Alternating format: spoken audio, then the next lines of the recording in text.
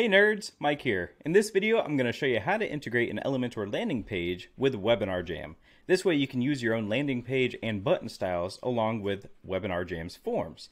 This way you don't need any additional APIs, Zapier, or any other third-party plugins. From your Webinar Jam dashboard, go ahead and select which webinar you'd like to work with, click on Your Links, then we want to select Embed in your website, and let's then select registration button. Once that's selected, we can scroll all the way to the bottom to embeddable code. Let's go ahead and copy this code. Let's open up Notepad or any other kind of text editor that we can easily work with.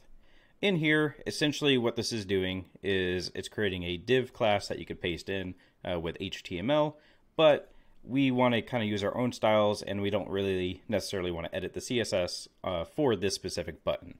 So the main things that we need out of this is we need to grab the script out of this. Um, and then, which is going to be this last little bit here, starts with script, ends with script. Then uh, we can get rid of this top div, and as you saw, I got rid of the last div. In this button tag, there's a couple things we need out of this. We need to know the class, which I can grab and paste here. And then we also need the data webinar hash. And I'll just paste that down here as well. And then besides that, we can get rid of the entire button row here.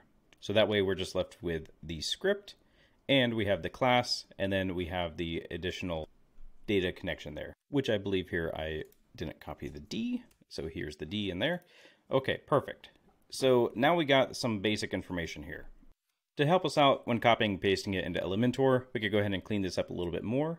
For the class, you can just get rid of everything uh, except for within the quotes. So that way it's just, in this case, WJ embed dash button.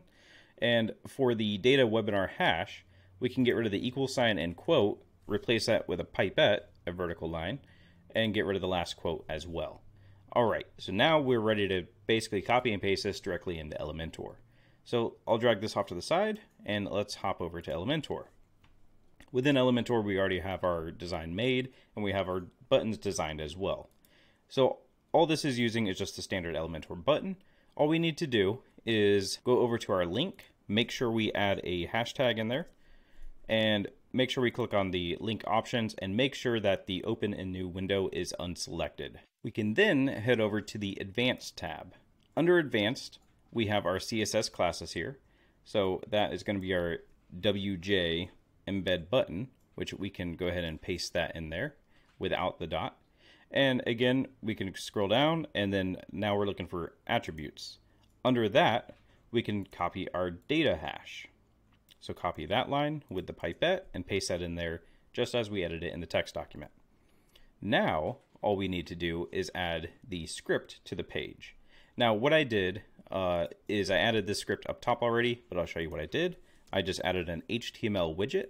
Within the HTML code, all I did is grab the script, exactly how it's stated there. It says that there might be an error or that there's nothing in between the script. That's perfectly fine. Now all we need to do is just click update and or we could just preview our changes. On our page, we can go ahead and scroll down to where that button is. When you click on it, it will open up the Webinar Jam form. But as you do see, it does scroll to the top. That's because we added a hashtag into the link itself. It typically automatically scrolls to the top. If that's okay, then you're done. Congratulations. But if not, we can easily edit that. So if we don't want it to scroll automatically back to the top, we could go back to the button. Make sure that we get rid of the hashtag. That may adjust your styling. Make sure you correct it if needed. Uh, now what we could do is go to advanced scroll down to custom CSS, and then we just have a quick little snippet in here.